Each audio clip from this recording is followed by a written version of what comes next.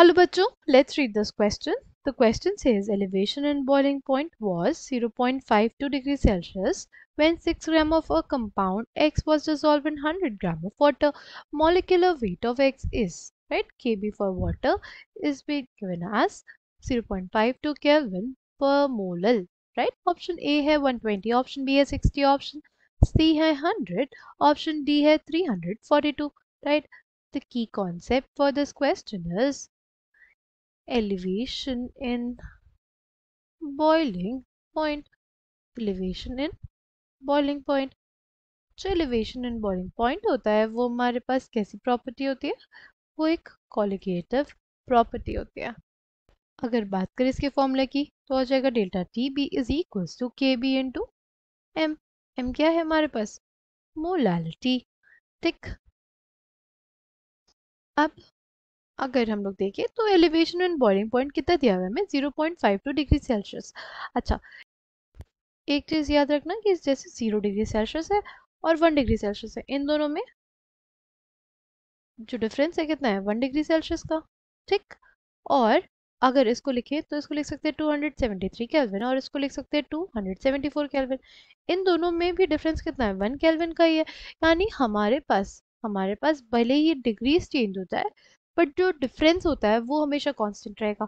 ठीक है, इसको एक और एग्ज़ाम्पल से समझो। जैसे हमारे पास है फाइव डिग्री सेल्सियस और ट्वेंटी फाइव डिग्री सेल्सियस इन दोनों में डिफरेंस कितना? ट्वेंटी डिग्री सेल्सियस का।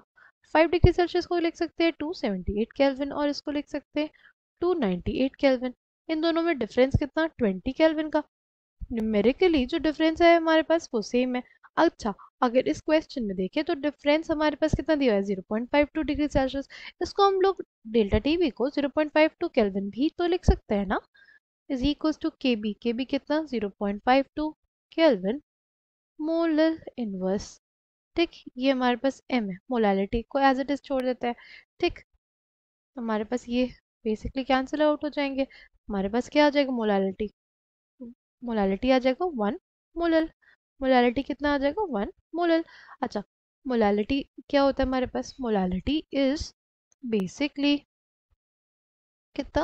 मोलालिटी होता है number of moles number of moles of the solute by mass of solute number of moles of हमारे पास जो सॉल्यूट आ जाएगा वो कैसे निकालेंगे? Mass of solute by molar mass of solute ठीक एंड फिर क्या आ जाएगा? Mass of solvent in kgs और हमारे पास ग्राम्स में दिया है ग्राम्स को हम लोग किसमें बदल लेंगे?